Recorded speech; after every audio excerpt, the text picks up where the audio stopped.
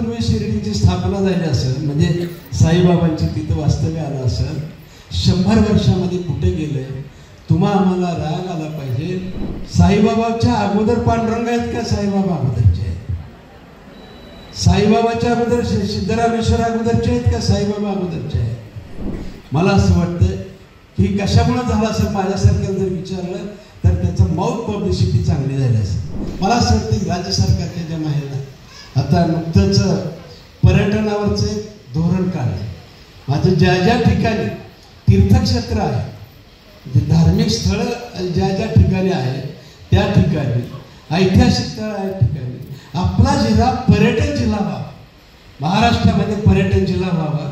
पर्यटन आणि आपल्याकडे जास्तीत जास्त यावे.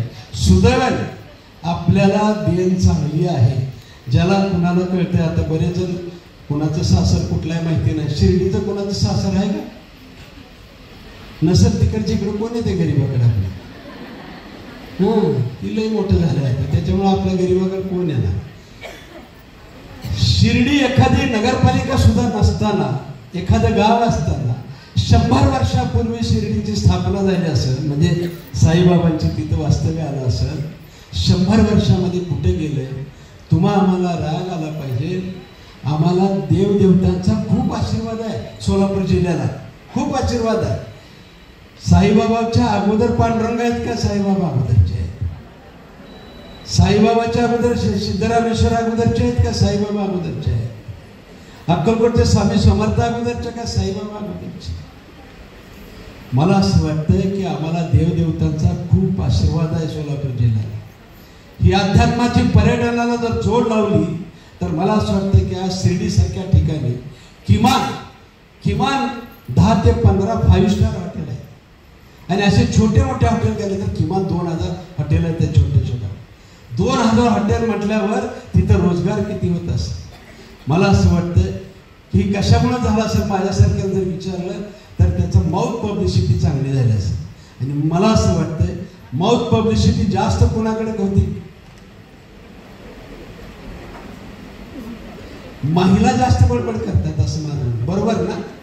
आता माझी आपल्याला सगळ्यांना विनंती आहे. आपल्या माहेरच्याला सगळ्याला इकडे बोलवा सातत्यानं बोलवा आणि आमचा पांडुरंग कसा चांगला आहे आमचा रामदैवत सिद्धरामेश्वर कसा चांगला आहे इकडे कमलादेवी कशी चांगली आहे भगवंत कसा इकडे चांगला आहे संत दामाजी कसे दुष्काळात सुद्धा आम्हाला धान्य पुरवत होते. म्हणजे हे आहे. स्वामी समर्थ भिवू नको तुझ्या पाठीशी. सगळ्या गोष्टी जर आम्ही केल्या तर मला असं वाटतं की या ठिकाणी तुम्हाला एवढी संधी चांगली मिळणार आहे की खूप मोठा रोजगार सुद्धा या निमित्ताने आणि म्हणून अध्यात्म म्हणजे धार्मिक पर्यटन जर आम्ही केलं तर मला असं वाटतं की ह्या गोष्टी होऊ शकतात. मी ज्या मतदारसंघातून येतोय कुडल संगम म्हणून गाव आहे. अनेक वर्षापासून जर तिथं कधी रस्ता सुद्धा नीट नव्हता तर रस्ता नीट झाला थोडासा प्रचार करालो तर रोज किमान वीस पंचवीस गाड्या दर्शनाला यायला केवळ रस्ता नीट झाला सात थोडीशी प्रचार प्रसिद्धी व्हायला लागली तर तिथं पूर्वी एखादी गाडी सुद्धा चुकून येत नव्हती. आणि म्हणून कुडल संगमसारखं एक चांगलं देवस्थान सुद्धा मागं पडलेलं होतं केवळ आमच्या न सांगण्यामुळं आम्ही चर्चा नाही केली. तसं सोलापूर जिल्ह्याला आम्हाला खूप देवदेवतांचा आशीर्वाद आहे. हा आशीर्वाद घेऊन आम्ही जरा पुढे गेलं पाहिजे. आणि ह्यांचं आपल्याला जास्तीत जास्त तुम्ही जर म्हटलं की तुम्ही ज्या गावात राहताय देव गावाच्या जवळ तुम्ही राहताय म्हणजे देवाच्या जवळ राहताय ते देव तुम्ही नवसाला पावलंय म्हणून सांगा. सगळ्यात जास्त पुरुषापेक्षा भक्तीसुद्धा तुमच्याकडे जास्त आहे. आणि मला असं वाटतं ह्या सगळ्या गोष्टी आपण कराव्यात या निमित्तानं वाटते आणि ह्या धार्मिक स्थळांवर मला तर असं वाटतं की ज्या दिवसापासून सातत्यानं हा जिल्हा धार्मिक पर्यटन व्हावा असं म्हणत होतो उगच वाटतं मला देव पावला असं वाटतं सोलापूर जिल्ह्याची देव पावली असं वाटतं. कशामुळे पावले असं म्हणतोय? राज्य सरकारने केवळ महिलांच्यासाठी पर्यटनावरची योजना तयार केली.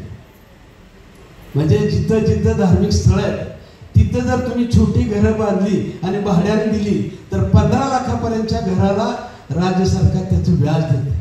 तुम्हाला पॉपरेटी द्यायला लावलं होतं मला असं वाटतं की हे पर तुम्हाला गाडी घ्यायची आहे टुरिस्टसाठी ते सुद्धा तुम्हाला पंधरा लाखापर्यंतचं व्याज सरकार महिलांच्यासाठी आहे फक्त.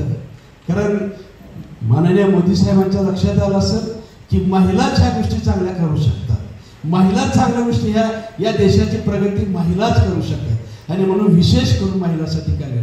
तुम्हाला एखादा हॉटेल तुमच्या तिथं आजूबाजूला काढायचं असेल ते सुद्धा मला असं वाटतं ह्याच्यामध्ये येतं. आणि अशा एक ना अनेक योजना असतात. ह्या योजना सुद्धा आम्ही तिथपर्यंत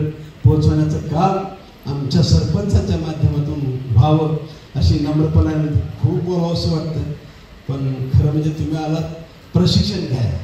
म्हणजे तांत्रिकदृष्ट्या आम्ही काय करावं काय बघावं